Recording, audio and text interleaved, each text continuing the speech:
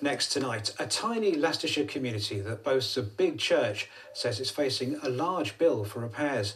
Now, a fundraising drive has begun to find the half million pounds needed, but officials say if some money can't be found soon, the historic Grade 1 listed structure may have to close on safety grounds.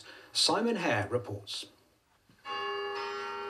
St John the Baptist Church at Kings Norton, an imposing Leicestershire landmark dating back almost 250 years. But in recent years, it started to suffer problems, including stonework damaged during Storm Eunice last February. We have closed it recently because one of the pinnacles came off in the high winds and it was closed for about two months. And we have limited funds that uh, could, at some point, could run out and then probably we'd have to close the church completely then. We probably need in the region of half a million pounds. Um, so the, the, the work that we've done so far indicates 400,000.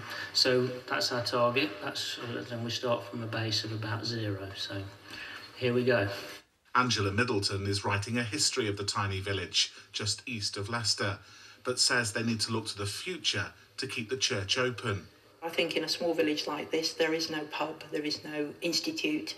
For me, this is actually the centre of the community. I don't think we can probably rely on religion to be drawing people into this. But to have something like this where you can actually use as a community point, um, I think is important. It's almost like a, a, a small cathedral in a tiny hamlet. Yeah, yeah, yeah, it's unusual. And we get lots of people, you know, cyclists and walkers and um, people just come over just to have a look at it. Villagers have rallied round, but know they're going to need help from further afield if they're to raise enough for repairs. Simon Hare, BBC East Midlands Today, Leicestershire.